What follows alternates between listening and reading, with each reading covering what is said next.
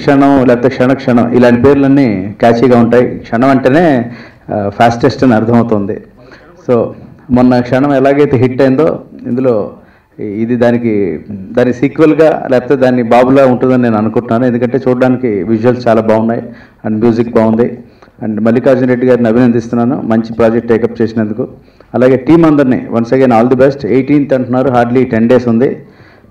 Definitely right time అదే. This is the best time to release నాకు తెలిసి content బాగుంటే ఎదురుగా పెద్ద పెద్ద సినిమాలు ఉన్నా డోంట్ వరీ థియేటర్స్ దొరికేదాకా కనుక మీకు ఇక్కడ రామ్ సత్యనారాయణ గారు ఉన్నారు he will take care of that which the whole team all the best నిర్మాత గారి ఆలోచన నిజంగా ప్రతి క్షణం క్షణం క్షణం ఏమవుతుందన్న ఆలోచనలో ఉంది picture I think it is great success అవుతుందని ఆలోచిస్తూ.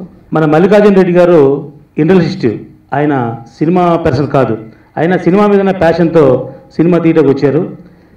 అటువంటి ప్యాషన్ ఉన్న వ్యక్తికి సినిమా న్యాయం జరిగితే అతను ఆ ఇండస్ట్రీలాగా ఈ సినిమాను కూడా ఒక ఇండస్ట్రీ అనుకుని నాలుగు సినిమాలు తీయడానికి ముందుకు వస్తుంది. ఇప్పుడు మనం ట్రైలర్ చూసాం సాంగ్స్ చూసాం బ్యూటిఫుల్గా సినిమాని కోటిన్నర రెండు కోట్లు పెట్టి చాలా పద్ధతిగా సినిమా తీశారు. ఈ సినిమా నేను ట్రైలర్ చూసినా చాలా ఆనందపడ్డా. ఎందుకంటే ఒక గొప్ప పెద్ద సినిమాకు ఉండవలసిన టెక్నికల్ వాల్యూస్ దాంట్లో ఉన్నాయి. ఒక కెమెరా కానివ్వండి ఒక రీ రికార్డింగ్ కానివ్వండి అవన్నీ చాలా బాగున్నాయి. ఇక పెళ్ళికి ముందు పెళ్ళి కూతురు చేసినట్టుగా సినిమాని ఒక ట్రైలర్ అయ్యే సినిమాకి ఎక్కువ కంటెంట్ తెచ్చిపెడుతుంది. ఆ ట్రైలర్ బాగుంటేనే సినిమా బాగుంటుంది. ట్రైలర్ చూసే దాని జాతకం సినిమా అంతా కూడా తెలిసిపోద్ది. అటువంటి ట్రైలర్ని అద్భుతంగా కట్ చేశాడు మా శివాబాయి ప్రసాద్. ఎందుకంటే శివ ఓ మంచి టెక్నీషియన్. మన ఈ మధ్యకాలంలో మన సి కళ్యాణ్ గారి సినిమాలు కూడా చాలా సినిమాలు అతనితో ట్రైలర్స్ కట్ చేయడం జరిగింది. సినిమా ఎక్కడ తీసినా ఎక్కడ ఎవరు చేసినా ట్రైలర్ స్పెషలిస్ట్ లాగా మా శివకి ఒక మంచి పేరుంది. ఒక మంచి సినిమా పెద్ద సినిమాలకి కాదు ఏ సినిమాకైనా బాగా ట్రైలర్ కట్ చేయగలడు. అలాగా ఈ సినిమాకి టెక్నికల్గా కూడా అన్ని అంత అందరూ కూడా సపోర్ట్ చేయబట్టి ఈ సినిమా చాలా బాగా వచ్చింది. ఇకపోతే థియేటర్ దొరకట్లేదు చిన్న సినిమా ఆడట్లేదు ఇవన్నీ కూడా గతంలో అనుకునే విషయాలే. కానీ సినిమాలో విషయం ఉంటే మనకి ఎగ్జాంపుల్ మన వెనకాల ఉన్నారు పెళ్ళి చూపులు. అంతకుముందు ఎలా ఉన్నా ఇప్పుడు మాత్రం ఆయన కాలర్ ఇలా ఎగరేసి తిరుగుతున్నారంటే కారణం చిన్న సినిమాల నిర్మాత అందరికి కూడా ఆయన ఆదర్శం. ఎందుకంటే ప్రతి ఒడికి నేను కూడా కాలర్ ఎగరేస్తాను ఎప్పటికైనా అనుకుంటా. నేను కూడా ట్రై చేస్తున్నాను అవ్వట్లేదు ఇంకాను. ఎప్పటికైనా నేను కూడా కాలర్ ఎగరేస్తాను గ్యారంటీగా అలాగా మా రాజ్ కందుకూరి గారిని మనం ఒక ఆదర్శంగా తీసుకోవాలి. ఇప్పుడు ఈవేళ ఈ ఫంక్షన్కి ఆయన్ని గెస్ట్గా ఎందుకు వచ్చారంటే ఒక మంచి వ్యక్తి మంచి మనసుతో ఒక రెండు మాటలు చెప్తే అది నిర్మాతకి బ్లెస్సింగ్స్లో ఉంటాయి. సినిమా కూడా ఎంతో అంత హెల్ప్ అవుద్ది. జనరల్గా అందరూ ఆడియో విని చాలా బాగుంది అని చెప్తున్నారు. అదంతా మీరు విని మీరు చెప్పాలి. నేను కొన్ని యూట్యూబ్లో ఆడియో సాంగ్స్ విన్ సంబంధించిన వాటికి యూట్యూబ్లో నేను కామెంట్స్లో చూశాను. నాకు తెలిసి ఒక్కటే ఒక్కటే ఉంది అనుకుంటా నెగిటివ్గా. ప్రతి ఒక్కటి చాలా పాజిటివ్గా ఉంది రెస్పాన్స్. అలాగే విన్న వాళ్ళు కూ- వినని వాళ్ళు కూడా మళ్ళీ వినండి. ప్లీజ్ ఇందాకటి నుంచి అందరూ ప్రొడ్యూసర్ చాలా ప్యాషనేట్గా తీశారు ఇట్లా అని చెప్తున్నారు. అవును సీరియస్గా చాలా ప్యాషనేట్గా తీశారు. ఆయనకి ఆయన వేరే బిజినెస్ ఫీల్డ్ అండి ఈ ఫీల్డే కాదు. ఆయనకి డబ్బులు ఎక్కువయ్యి దీని మీదకి రాలేదు. ఏదో జనరల్గా కొంతమంది ప్రొడ్యూసర్స్ అంటే నేను అన్నా అని తప్పుగా అనుకోవద్దు. కొంతమంది అంటే నేను కొంతమందిని చూశాను అనమాట అంటే హీరోయిన్ మీద సమ్ మోజు మీద వేరే సమ్ ఏదో దాని మీద. అంటే టూ థౌజండ్ నోట్ వచ్చాక ఇవన్నీ సగం మారిపోయినాయి. ఇప్పుడు చాలా ప్యాషనేట్గా ఉన్న పర్సన్స్ వీళ్ళు వరకే వస్తున్నారు. అలాంటి వాళ్ళు నిజంగా సక్సెస్ అవ్వాలి. ఎందుకంటే మేము దగ్గరుండి చూసాం. ఆయన అంతా ఆయన అంత సఫర్ అయ్యారు ఎంత కష్టపడ్డారు దీనికోసం. ఎంత కష్టపడ్డారు అనేది మేము దగ్గరుండి చూసాం. డెఫినెట్గా ఆయనకైతే సక్సెస్ కంపల్సరీ రావాలండి.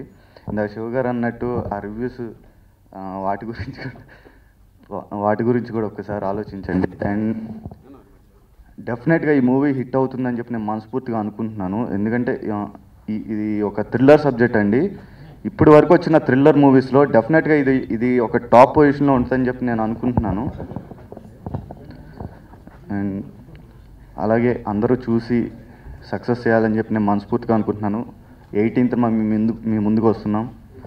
Thank you thank you so much Mallikarjun Reddy గారికి దాదాపుగా అంటే తను చేస్తున్నటువంటి వ్యాపారానికి డిఫరెంట్గా ఈ యొక్క సినిమా ఇండస్ట్రీని ఎంచుకోవడం జరిగింది. మరి ఇలాంటి సినిమా తప్పకుండా విజయవంతమైనప్పుడు తప్పకుండా ఇంకా నాలుగు సినిమాలు చేయడానికి అవకాశం ఉంటుంది. మరి అదేవిధంగా నలుగురికి అవకాశం ఇవ్వడానికి కూడా వీలుంటుందని చెప్పేసి ఈ సినిమా తప్పకుండా విజయం సాధించాలని చెప్పేసి వారి టోటల్ ఎంటైర్ యూనిట్ అందరికి కూడా బెస్ట్ ఆఫ్ లక్. ఇప్పుడున్న సిచ్యువేషన్లో వేరే ప్రొడ్యూసర్ అయితే నాకు తెలిసినంత వరకు రిలీజ్ కూడా ఆపేసేవాళ్ళు. ఎందుకంటే సక్సెస్ఫుల్గా అతను తీసిన డబ్బులు కన్నడలో వచ్చేసాయి అండ్ చాలు ఈ సినిమా పక్కన పెట్టినా కానీ పెద్ద లాస్ లేదు. బట్ పని చేసిన మా కోసం ఆర్టిస్టుల కోసం వచ్చినా పోయినా నేను రిలీజ్ చేస్తానని ముందుకు వచ్చాను sir. Sir for that I'm appreciating him and at the same time ప్రస్తుతం మనకున్న పరిస్థితుల్లో ఇలాంటి ప్యాషన్ ఉన్న చిన్న ప్రొడ్యూసర్ని సేవ్ చేయాలి సార్.